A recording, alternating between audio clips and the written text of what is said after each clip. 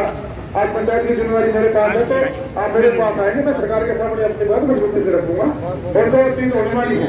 ठीक है कई चीज़ें ऐसी मांगना आपका सुविधानी राइट है। लेकिन सरकार ने भी देखना होता है कि अपने कौन सी चीज़ करके तो एक्चुअल में आपको इसकी ज़रूरत है। सरकार टाइम पे मिले इसको इंश्योर करेंगे उसमें तो कोई ज़्यादा नंबर वाला कार्य नहीं तो अधिकारियों को थोड़ा सा एक बार निर्देश दोबारा से जारी करने की ज़रूरत है वैसे तो मैं कहता रहता हूँ पैसा मंथली निकलता आपका। पहले तनख्वाहों का ही पैसा निकलता है डेवलपमेंट का पैसा बाद में निकलता। है तो आप चिंता सर क्या बताएँगे जो सफ़ाई कर्मचारी आए हैं ज्ञापन दिया है क्या मामला? देखिए सफ़ाई कर्मचारियों की पिछले काफ़ी लंबे समय से जो डिमांड थी लंबित थी। और इससे पहले भी दो बार चंडीगढ़ जो हमारे प्रधान है सफ़ाई कर्मचारियों की जो एसोसिएशन बनी हुई है मेरे से मिले थे। और हमने उसी टाइम जो इनकी मांग थी अपने अधिकारियों को एग्जामिन के लिए हमने फ़ाइल पुटअप कर दी थी। और माननीय मुख्यमंत्री जी और हमारी सरकार के ये मामला संज्ञान में है।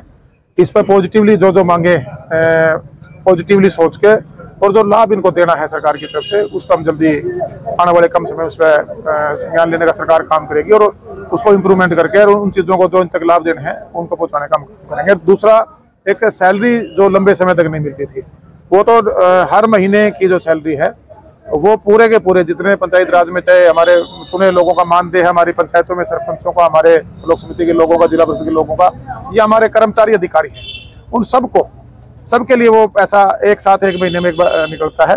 कहीं ब्लॉक लेवल पे, जिला लेवल पे अगर किसी अधिकारी की कोई कोताही है, उसको भी संज्ञान लिया जाएगा और वो पैसा मंथली इंश्योर करेंगे हम कि आपके महीने में, महीने की तनख्वाह अगले महीने के जो भी समय, अवधि उसकी निर्धारित है, उस समय पर पहुँचाने का हम काम करेंगे। और जो ये मांग पत्र दिया है, इस पर पहुंचली सरकार विचार कर रही है।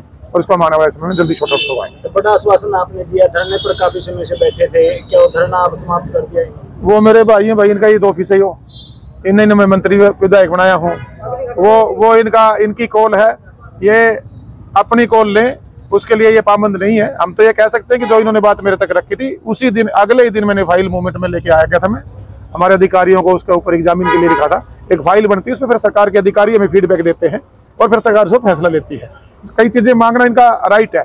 लेकिन उसमें सरकार क्या कर सकती है वो हम इनकी जो भी हमारे जिम्मेवार लोग हैं इनको साथ बुला के चर्चा करके और फिर माननीय मुख्यमंत्री से मीटिंग करेंगे और फिर सरकार से फैसला लेगी। सर क्या नाम है आपका? मेरा नाम बेगराज है जिला सचिव ग्रामीण सफ़ाई कर्मचारी यूनियन।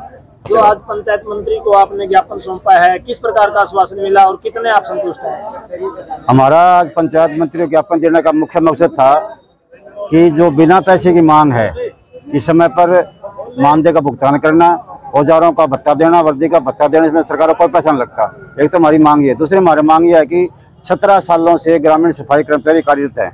यूपी की सरकार ने पक्के कर दिए तो हरियाणा का दिक्कत हो तो टोटल सफ़ाई कर्मचारियों को पक्का किया जाए, और जब तक पक्का ना किया जाए, समान काम, समान वेतन लागू किया जाए, हरियाणा में नगर पालिका के तमाम कच्चे कर्मचारियों को समान काम, समान वेतन मिल चुका है। तो हमारी मांग भी है कि ग्रामीण सफ़ाई कर्मचारियों की समान काम वेतन दिया जाए। हमारी ये मांग भी है कि काफ़ी समय से ईएफ और ईएसआई के कार्ड काफ़ी साथियों के वितरित नहीं हुए उनको ठीक करके दोबारा से दिए जाएँ। हमारी ये मांग भी है कि जैसे पक्के कर्मचारियों को शिक्षा भत्ता मिलता है तो ग्रामीण सफ़ाई कर्मचारियों को भी, इनके बच्चों के लिए भी शिक्षा भत्ता लागू किया जाए। ये हमारी कुछ मांग है। इनके लिए हमारा प्रोटेस्ट है पूरे हरियाणा में ग्यारह हज़ार कर्मचारी हड़ताल पे हैं। हमारा मंत्री से निवेदन था कि डेलीगेशन में बुला के बातचीत की जाए और बातचीत के द्वारा कुछ समस्या का समाधान करके आगे बढ़ा जाए अन्यथा हड़ताल जारी रहेगी। किस प्रकार का आश्वासन आपको दिया गया? आज आश्वासन ये दिया गया है कि मैं मुख्यमंत्री से बात करूँगा। पहले भी मंत्री महोदय ने मानना है आप अपने सबके बीच मानना है कि दो बार पहले भी हमारी बात हो चुकी है आज फिर बात हुई है। और उन्होंने आश्वासन दिया है कि मुख्यमंत्री से बात करके आपकी मांगों का समाधान करने का प्रयास करूँगा। संतुष्ट है आप तो हमारी उम्मीद अभी तक हम संतुष्ट नहीं है।